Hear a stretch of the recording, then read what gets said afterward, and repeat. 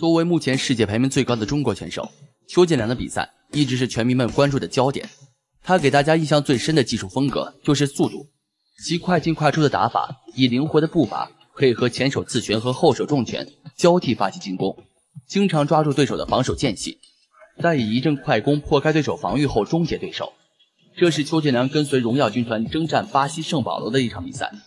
邱建良原本的对手因伤无法参赛，巴西羽量级排名第二的威尔森贾文临时顶替参赛。此次更换的邱建良的对手也不是无名之辈。八五年出生的威尔森·贾文已是擂台上的一名老将，身披泰拳冠军、巴西冠军等近三十个冠军头衔，WGP 现役第二，有着出色的拳腿连击能力和打击能力，可谓也是个实力悍将。但这次对战邱建良，对他也是个挑战。一成，场的裁判。呃，邱建良二零一七年呢，有一个特别大的愿望，就是希望跟目前排名第一的考打一场。是，不知道能不能打出这个。希望在二零一七比赛。现在呢，双方的这一回合，比赛的头一回合现在开始了。邱建良是一个擅长打这个切线进攻的选手，是啊，在对方的这个两侧去进攻。邱建良啊，不太敢轻易的这出招，名声在外啊。是。这样的话呢，对于邱建良来说呢，也也是个难题。你这老不动啊，对方守的比较，防守比较严密。嗯。邱建良多次的这个重击呢，都是出现在这个把对方的阵脚打乱以后的这种进攻。对，现在对方就抱定了，我把阵脚压好啊。面对强悍的邱建良，威尔森采用防守反攻战术。第一回合，威尔森的防守像穿山甲一样。给邱建良带来了一定麻烦，于是邱建良采取切线进攻，寻找防守漏洞，把 已经抱成团儿。这个我得想怎么样，这个能够把你这个脆弱的一面让你露出来呢？但是威尔森迪扎万可并不是一个普通的长跑者，是水平是非常的高的。对，呃，也说呢，这个现在他是保留着一个一个稳定的这个阵脚，我们也非常的期待啊，呃邱建良很好的这场比赛呢，能够尽早的呈现在我们的面前。排名第一和排名第二的这个火星撞地球的这样一场惊人的比赛，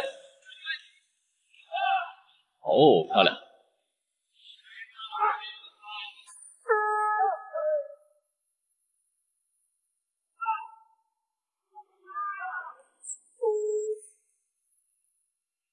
接腿，失去平衡。确实啊，这个邱建良啊是一个非常聪明、非常智慧的这样一名选手。是的，在场上的这个角度啊、线路的选择啊，都是非常的清晰的。那作为他的对手，威尔森迪加万，目前表现的就是。呃，我把我的这个出拳效率上到最高，也就是我的成功率要上到最高，但我不轻换对手。其实对于双方来说呢，是是均等的。而且介于我们这个对巴西选手的这个信息的不对等，邱建良的这个比赛应该在全网都有很明显的这个视频。是那，对于威尔森迪扎万来说，在巴西国内地区呢是非常有名的一个选手，但是碍于这个巴普，也就是葡萄牙语的这个语言的限制呢，可能我们找起来会非常的困难。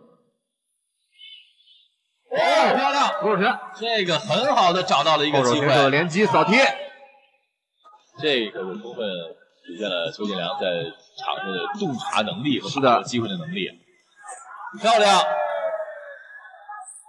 连续转身，哦，动作非常的舒展，顶膝。感觉第二回合，敏锐的洞察力让邱建良找到了对手防守的漏洞，重拳不断击中对手头部和腹部，通过一阵连续的进攻读秒对手。啊，威尔森迪亚万示意说：“邱建良，你双手箍我颈了。”这的确刚才有这个动作，还是很有有很清晰的判断力。是，在我们比赛规则中呢，这个膝和弓这个箍颈要同。好，现在呢进入到第三回合。上来之后呢，呃，威尔森啊，这个也提速了。泰拳式的选手，第三回合。是，那邱建良也是泰拳式的选手，对呀 我们没办法把邱建良、魏睿这样的选手规划在哪个风格的选手里。他们都练过泰拳，练过散打，对，练过荷兰式的立体进攻，甚至还自己创造和研发出来了一些风格和拳变种。没有办法跟他们定性的，也确实是因为他们也太强了。没错。好，继续进攻，抡了挺多拳，并没有打倒。这个带摔在我们的比赛里边是不被允许的。是。打着打着打高兴了，或者是觉得比赛这个状态呢完全在自己掌握了。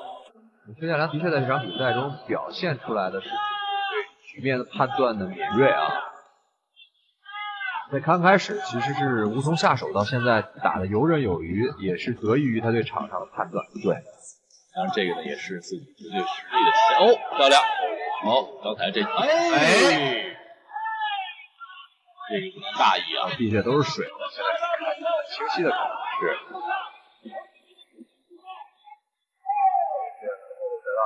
哦，这场比赛很明显，崔建良给了对方一个强制的读秒，所以是应该是崔建良。双方呢对于对于表现呢都是充分的认可。精彩的还在互相探索技法上的奥秘啊，是。三局战罢，邱建良以点数战胜威尔森。当裁判宣布结果，威尔森鼓掌祝贺，同时邱建良也向威尔森表达了敬意，飞起他绕跑擂台。世界搏理事会副主席娄善群女士为邱建良颁奖。